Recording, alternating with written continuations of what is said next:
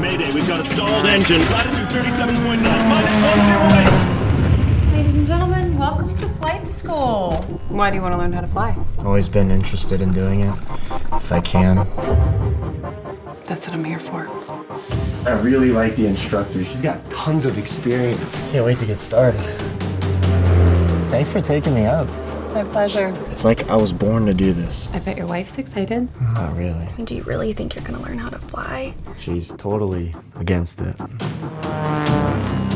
Pull back on the yoke, right hand under throttle. What are you doing?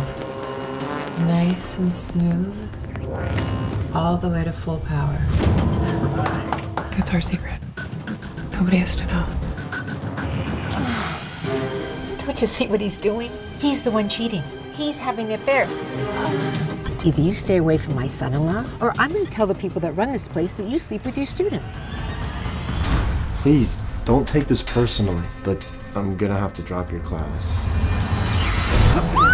I have this tendency to be a little aggressive in situations like this. I'm so much better for you than she is. She's just dead weight in your life.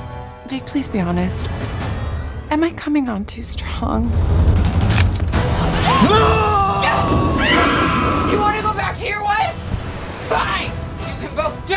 In a ball of fire. What are you teaching these days? Crash landings?